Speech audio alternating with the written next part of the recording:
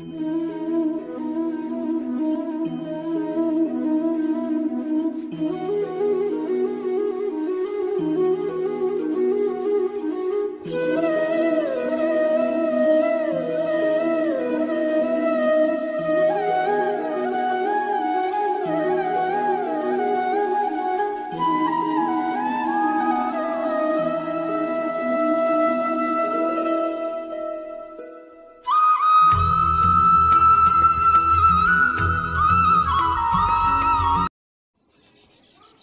ऐसे बहुत सी जगह हैं भारत में जो प्राचीन मंदिर और गुफाएँ और प्रदर्शनिक सौदा, बहुत सी ऐसी ऐसी जगह हैं जो भारत में आधी जगह आपने घूमी नहीं होंगी। तो एक मंदिर यह भी है जो यहाँ पर नदी के बीचों बीच बना हुआ है, पानी के, पानी से बीचों बीच घिरा हुआ। तो इस मंदिर पे भी बहुत ज़्यादा भीड़ रहती है, यहाँ पर भक्त आते रहते हैं और भाई दान पात्र तो हर जगह रखे हुए होते हैं। तो इस जगह भी रखे हुए हैं। और मंदिर की खूबसूरत की बात करें तो मंदिर बहुत ही ज़्यादा खूबसूरत है और इसमें शिव जी का जो है भाई नांग वाला मूर्ति धरी थी, यहाँ मंदिर के पानी के बिल्कुल बीचों बीच में है। यहाँ से इसका नज़ारा देख सकते हो। और इधर जो निकलने के लिए और बैठने के लिए जगह है, बीचों बीच में बनाई गई है। और इस भाई जो मूर्ति है दर्शाई गई है, इसमें भाई जो तीर लगे हुए हैं, बहुत सारे जो बाढ़ मारे हैं इन्होंने तो वो बहुत सारे तीर आर पार निकाल दिए गए हैं। बनावट बहुत ही ज़्यादा खूबसूरत में बनाई गई है कि जो तीर हैं वो लमसम दस दस से पंद्रह तीर होंगे, वो घुसेड़ दिए हैं। और यह भी मूर्ति देख सकते हो इधर कि बहुत ही ज़्यादा सुंदरता दर्शाई गई है। संगे मरमर की बनी हुई लगती है और फ़िलहाल मूर्ति बनाने के लिए भाई बहुत ज़्यादा मेहनत भी लगती है और यहाँ पंजाबी प्रयोगशाला ढाकशाला है। और मंदिर की, इस बात की, मंदिर की बात करें तो ये भी बहुत ज़्यादा खूबसूरत मंदिर है और यहाँ अंग्रेज़ों का प्रस्थान होता है भाई, इसे अंग्रेज़ों का मंदिर कहा जाता है। दूर दूर से भाई यहाँ पर भक्त आते हैं इसे देखने के लिए और प्रदर्शनिक सौदा है देखने के लिए, बहुत ही ज़्यादा बेहतरीन मंदिर है। तो ज़्यादातर मंदिर मथुरा साइड में ही, मथुरा ज़िला बोलते हैं। मथुरा ज़िला में पढ़ते हैं वृंदावन में तो बहुत ही ज़्यादा खूबसूरत मंदिर बने हुए हैं। भारत में लमसम सौ देशों में, भारत से अलग सौ देशों में कन्हैया जी के जो है, मंदिर बनाए गए हैं। और यहाँ पर भी बहुत सारे अंग्रेज़ आते हैं विदेश से। और बात कर लेते हैं यहाँ की हम जो गंगा जी की। यहाँ पर भी साइटों से जो गंगा घाट है, इसे कुंड भी कहते हैं और साइटों से मंदिर बने हुए हैं बहुत बहुत विचित्र और यहाँ फुब्बारे लगे हुए हैं बीच बीच में। यहाँ भाई इन मंदिरों की बात कह सकते हो, साइटों से तो बहुत ही ज़्यादा खूबसूरत जगह लगती है देखने में। हर जगह मंदिर ही मंदिर है।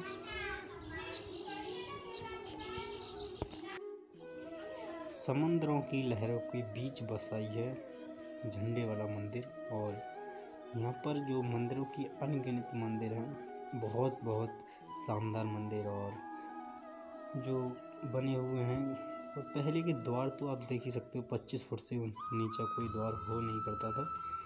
और अभी फ़िलहाल इस मंदिर की बात कर लें, मंदिर श्री ठाकुर, वासुदेव मतलब और हम चाहते हैं थोड़े पास इसके, पास से इसके दर्शन कर लेते हैं।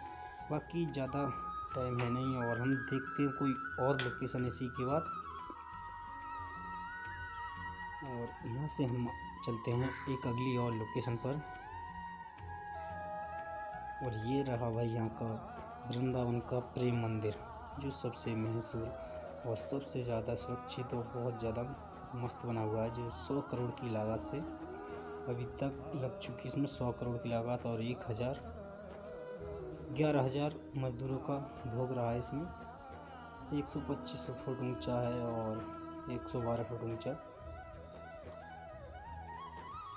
इसके साइडों साइड झांकियाँ बनी हुई हैं।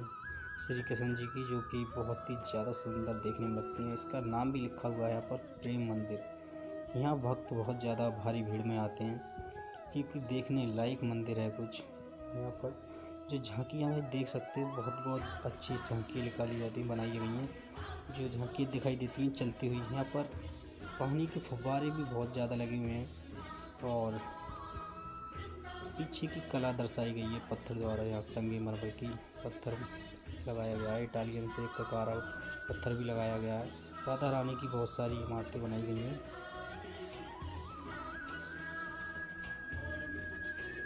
और यहाँ एक गार्डन बना हुआ है इसी के बराबर में। तो यहाँ पर भी राधा कृष्ण जी की जो है, झूला बना हुआ है और इस साइड से गोपियाँ हैं जो दर्शाई गई हैं कि झूले को एक छोटा साहिब का दे रही हैं। यहाँ बहुत सी गोपियाँ यहाँ पर बैठी हुई दिखाई दे रही हैं और गार्डन बहुत ही अच्छा बना हुआ है। और ये ज़िला मथुरा में पड़ता है वृंदावन लमसम बीस पच्चीस किलोमीटर के दायरा में। और कालिया नांग भी बना हुआ है यहाँ पर बहुत ही ज़्यादा बड़े उस आकार में यहाँ जो हंस हैं, हंस भी उनमें हैं।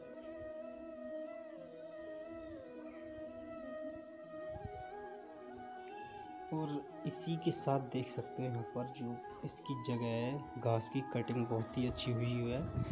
कटिंग उसकी बहुत ही बढ़िया जो कमल का फूल बना हुआ है इसका। घासी का बना दिया है।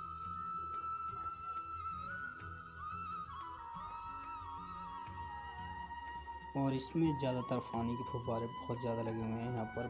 जो देखा होगा मेरी पिछली वीडियो में, जो यहाँ पर एक पहाड़ भी बना हुआ था और मंदिर की तो बात ही कुछ है नहीं भाई, बहुत ही ज़्यादा सुंदर मंदिर लगता है ये प्रेम मंदिर। और यहाँ से होकर के ये पानी जाता है तो पानी का भी दृश्य देख सकते हो, काली नाग से होकर छोकर मिलता है।